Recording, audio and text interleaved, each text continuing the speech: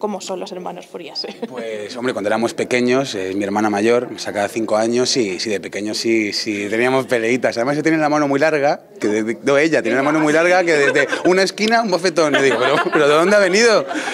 Y nada, luego ya cuando fuimos a- acercándonos a la edad, se me quita la del pavo y las tonterías, pues al final somos uña y carne. O sea, más que hermanos, somos pues, eh, mejores amigos, tenemos mucha confianza.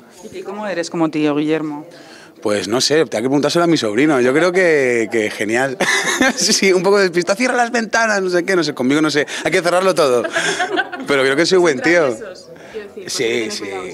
Bueno, Nala, eh, Nala, que es la chiquitita, que tiene pues, eh, un añito y, y poco, pues no. Pero Noah, que tiene ya cuatro y eh, pues, pues, todo arriba para arriba, para abajo, le- no, no puede descansar ni un minuto, pero es lo normal, ¿no? Si no, sería una planta.